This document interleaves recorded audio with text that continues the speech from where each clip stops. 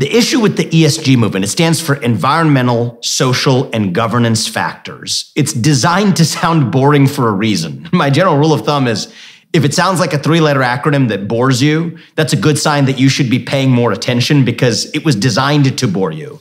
What, what this whole game is about is using private power, using capital markets to accomplish through the back door what government could not get done through the front door under the Constitution. So I'll tell you what it is, and then I'll walk through the history of how we got there because that's also pretty important too. What the essence of the ESG movement is what it does is it uses the money of everyday citizens, Americans, but Canadians too, Australians and Western Europeans. It uses the money of everyday citizens to invest in companies and to vote their shares in ways that advance one sided progressive agendas, environmental and social agendas that most of those people do not agree with, that most of those people did not know were actually being advanced with their own money, and which don't advance the financial best interests of most people whose money is actually used.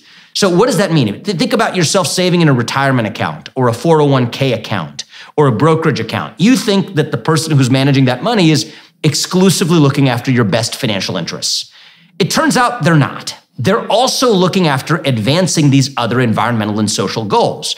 Who are these institutions? They're asset management firms like BlackRock or State Street or Vanguard or Invesco or countless others that have signed a pledge to say that they're going to align all of their underlying companies with the goals of the Paris Climate Accords, with net zero standards by 2050, with modern diversity, equity, and inclusion standards. And those three or four firms alone manage about $20 trillion, maybe even a little bit more. That's more than the US GDP right now in the hands of three to four financial institutions.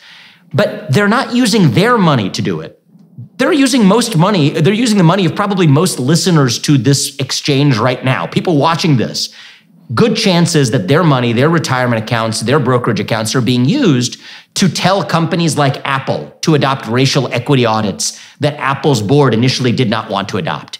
To tell companies like Chevron to adopt scope three emissions caps, which I can talk about what that means, but that Chevron did not want to adopt, and that most people watching this probably didn't want to force on Chevron either, but their money was used to do it anyway. That's what this ESG movement is all about.